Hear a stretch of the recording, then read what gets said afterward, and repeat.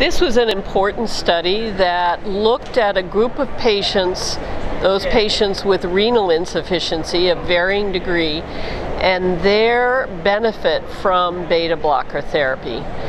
If we look at the amount of data we have on patients with heart failure with reduced ejection fraction and optimal medical therapy, it's very scant because these patients have mostly been excluded from clinical trials.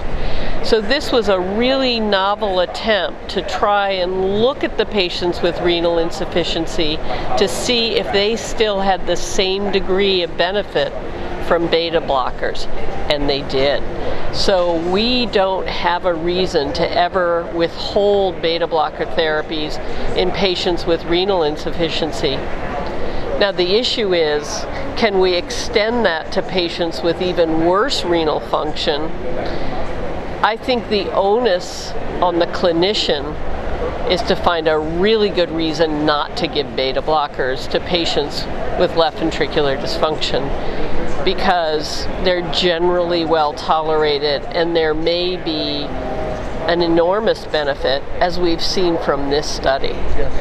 How much of an issue do you think this is in U.S. practice? Are clinicians reluctant to use beta blockers when renal function is pretty low? I think it's a good question, and I, I, I, would have liked to know if he knows the data about how often beta blockers are withheld from patients with renal insufficiency. We certainly know that ACE inhibitors, ARBs, and MRAs are withheld from fear that it would hurt kidney function.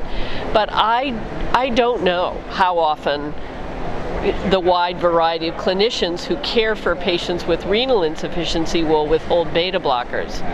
For a long time, we were taught not to use beta blockers in patients with diabetes, and of course, they're the patients that also have renal insufficiency. So I think it's I think as more and more patients with diabetes are crossing over into the field of heart failure and the drugs are crossing into the heart failure, we're going to really have to probably examine this again.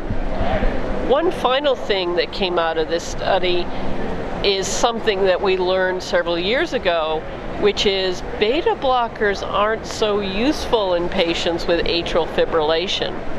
That really is upsetting to me, and we're going to have to understand that some more as well.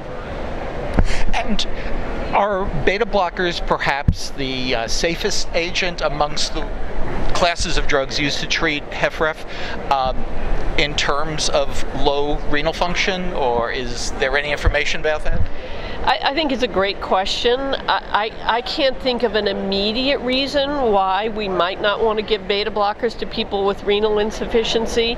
I'm sure. I mean, I'm sure we can think of some if we have to, especially hypotension, which you'd want to avoid. But beta blockers don't cause that in general when titrated normally in HFrEF patients.